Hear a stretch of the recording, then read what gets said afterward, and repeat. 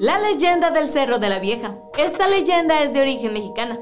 Cuenta la leyenda que un grupo de cazadores se pararon frente a una gran roca donde se veía dibujada una hermosa silueta de una mujer con largas trenzas. Y también se encontraron con grandes cantidades de plomo a un lado de la piedra.